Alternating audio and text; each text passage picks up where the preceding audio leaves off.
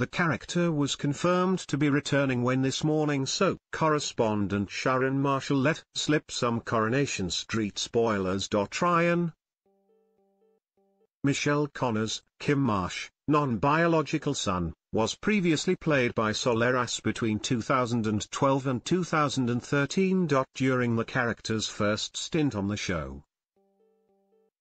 Between 2006 and 2010, he was played by Ben Thompson. But it's thought he'll now be played by Ryan Prescott, who was seen filming with other members of the Coronation Street cast. In the photos,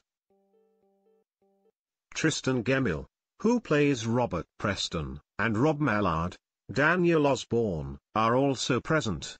It seems Robert heads to Ryan's house for a chat, Perhaps something to do with his wedding to Michelle. Daniel is also in the scene and looks a little disheveled. Could he have been at a party at Ryan's? The last viewers saw of Ryan. He was heading off to Ibiza to become a DJ, so maybe he's returned to the UK and is still following his dream. Michelle's biological son Alex Neeson, now going by Ali, returned to the soap last month, now played by James Burrows. Soap expert Sharon teased, cast your mind back to 2008 when there was a story with Michelle. And you might remember that it turned out her son wasn't her biological son, there had been a baby swap in the hospital. This was the kid that she had with her late partner Dean,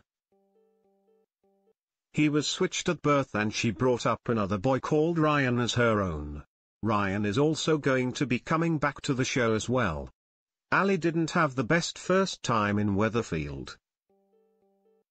Getting up to all sorts of mischief with the residents.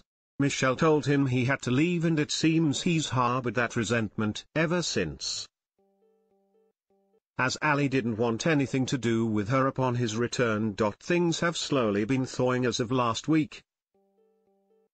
But how will Ryan's return affect everything? New Corrie star Ryan Prescott previously appeared in Emmerdale in 2011 as Flynn Buchanan. A love interest for Aaron Dingle, Danny Miller. Coronation Street continues tonight at 7.30pm and 8.30pm on ITV.